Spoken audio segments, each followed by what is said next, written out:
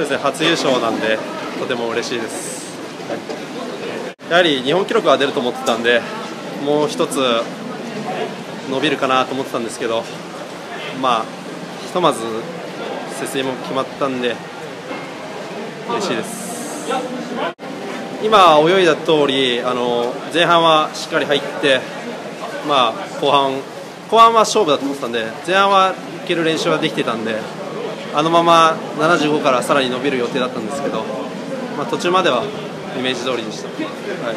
50m はやはり21秒台出して個人で派遣切ってすっきり決めたいと思います。ありがとうございました。